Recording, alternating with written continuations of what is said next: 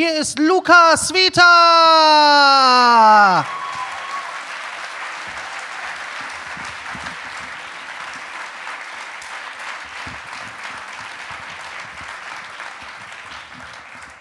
Vielen Dank.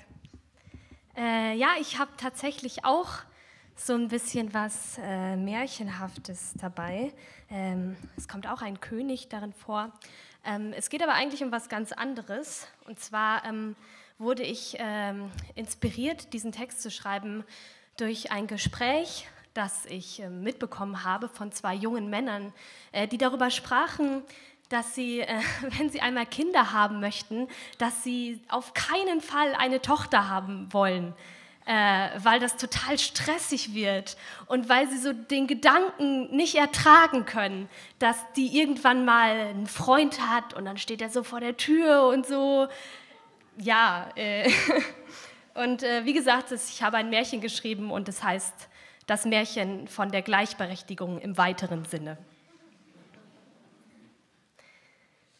Es war einmal heute in einem allzu nahen Land. Eine Königin, die trat auf den Hofplatz und gab ihrem Volke mit Stolze bekannt, ein Kind war geboren, ein Mädchen genauer. Alle Lerchen, die sich auf die Dächer gekauert, erhaschten den Blick durch den strahlenden Schauer von Blättern, gefärbt durch den Pinsel des Herbstes. Die Seelen des Schlosses versanken im Schwärmen, alle Mägde und Kellner mit Fohlen und Kälbern. Sie sahen gebannt auf die frohe Gesellschaft und als die standen und schwiegen, mit offenen Mündern. Sie liebten es sehr und sie wiegten das Bündel, begannen im Tiefen die Zweifel zu zündeln. Ein Teil der Verwandtschaft, vor allem der König, zeigte sich nicht mit dem Ausgang versöhnlich. Er stand nur dabei mit gezwungener Freude. Er hätte so gern einen Jungen gezeugt, denn das ist einfach. Alles, was sie machen wollen, ist Bolzen, Holz hacken, nicht über Gefühle reden und hin und wieder einen Dübel in die Wand hauen. Aber Mädchen sind schwach und zart. Ständig muss man sie beschützen. Erst interessieren sie sich nur für Ponys und dann werden sie anstrengend. Und dann bluten sie irgendwann einmal pro Monat aus ihrer Vagina und das ist irgendwie total seltsam. Oh, und irgendwann stehen dann die ersten Jungs auf der Schwelle und das kann ich nicht ertragen. Bevor sich der erste stinkende Halbstarke durch die Hintertür stiehlt, in seine schwitzigen Griffel unter das T-Shirt meiner Tochter schiebt, ist aber Schicht im Schacht. Das lasse ich nicht zu. So schimpfte der König und wurde sehr wütend. So eine Schmach kommt mir nicht in die Tüte. Darum baue ich nun einen Turm in die Wüste dass die steinerne Front sie auf ewig behüte und sich damit das Unheil der Welt vor ihr schließe. Denn ich bin ihr Vater und habe die Güte, ich sorge mich um meine zierliche Blüte. Und so baute eine Weile er am Käfig für das schöne Kind, ignorierte wie so häufig die Bedenken seiner Königin. Und an einem Sonntagmorgen schlossen sich die schweren Tore. Auf der haushohen Empore stand das Mädchen und war wirklich ziemlich abgefuckt. Aber die Geschichte ist noch nicht vorbei. Es war einmal heute in einem allzu nahen Land.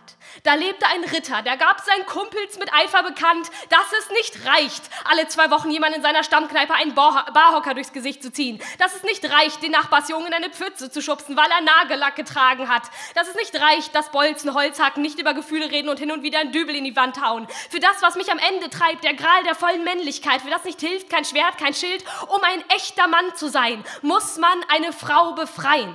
So stellte der Ritter fest, wer in meinem Alltag keine Holdemaid befreit hat, ist in unserer Gesellschaft ein gottverdammtes Abfallprodukt. Und er habe gehört von einem Turm in der Wüste und von einer Prinzessin, die dort lebe und sich schon nach ihm verzehre seit Jahren und wartet. Und so schwang er sich auf sein Nashorn, das Spirit Animal der Überkompensation. Und nach Tagen stand er am Ende vor dem Turm, dessen Wände sich scheinbar unendlich in den Himmel erstreckten. Und er wunderte sich schon, dass kein langer Zopf aus dem Fenster hing, aber er dachte bei sich, ja, Frauen brauchen ja immer so lange Bart, ne? Und er klomm den Turm mit seinen bloßen Schneidezähnen, stieg hinein und da in der Ecke sah er eine Silhouette und er ging auf die Knie und sprach, meine Angebetete, ich bin gekommen, um euch aus eurer misslichen Lage zu befreien und euer Schicksal in die Hand zu nehmen. Kommt mit mir und werdet meine Frau. Ihr sollt auf meinem Schloss wohnen und mir Chips in den Mund stecken, während ich Fußball gucke.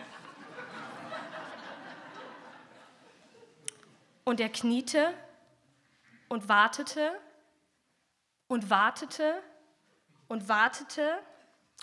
Und dann traf ihn ein Pantoffel und noch einer und ein Stuhl und eine Schreibmaschine. Alles, was im Turmzimmer nicht nied- und nagelfest war, wurde dem Prinzen entgegengeschleudert und schließlich trat aus dem Schatten die Prinzessin und die, das sah man ihr an, hatte wirklich gar keinen Bock. Der Ritter war furchtbar verwirrt, denn er hatte erwartet, dass sie ihm gleich fügsam sein würde und er frug, Holde Maid, was macht euch so wütend? Die Prinzessin holte tief Luft und legte los. Erst sperrt mich mein Vater in einen Turm und versagt mir meine Freizügigkeit und meine Bedürfnisse und dann kommst du um die Ecke und willst mich befreien? Lol, du denkst, ich bin hilflos? Ich habe diesen Stuhl aus meiner Niere geschnitzt. Deine Ansprache war ein einziger Imperativ und ich befehle dir jetzt auch mal was. Halt deine Schnauze. Egal wo ich bin, es umschwebt mich ein goldener Käfig. Ich bin draußen genauso gefangen wie hier. Der einzige Vorteil ist, dass ich hier drin deine scheiß Fresse nicht sehen muss. Ich habe nicht auf dich gewartet, ich warte auf das Ende des beschissenen Patriarchats. Ich will keinen Mann, ich will meine Ruhe und jetzt verpiss dich aus meinem Turm, du Arschgesicht.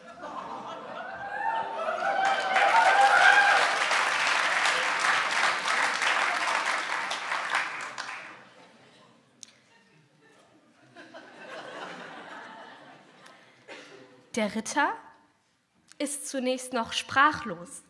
Es verwirrt ihn, dass Frauen die Stimme erheben können.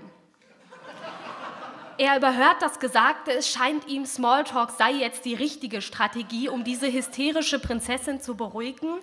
Also setzt er nochmal an und sagt, also Nieren eignen sich eigentlich nicht so gut zum Schnitzen, ich würde dir ja eher Holz empfehlen. Der Ritter ist nicht mehr unter uns. Nachdem die Prinzessin ihn rausgeschmissen hat, zieht er zurück zu seiner Mutter und gibt Pickup-Artist-Seminare. Ein paar Jahre später bei einem Campingtrip setzt sich eine Kuh auf sein Gesicht und er stirbt. Die Prinzessin bleibt in ihrem Turm. Sie wies noch viele Ritter ab und baute sich aus den Scherben ihrer zerbrechlichen Egos einen hübschen Mosaiktisch. Der Turm wird zur Kommandozentrale für den Sturz des Patriarchats. Mein Name ist Luca, ich bin zuständig für Buchhaltung und pure Provokation. Mein Deckname ist Lustige Frau und ich gehe auf Poetry Slams und lese diesen Text, um Männern schon mal richtig auf die Nerven zu gehen. Ganz liebe Grüße aus dem Turm in der Wüste. Danke.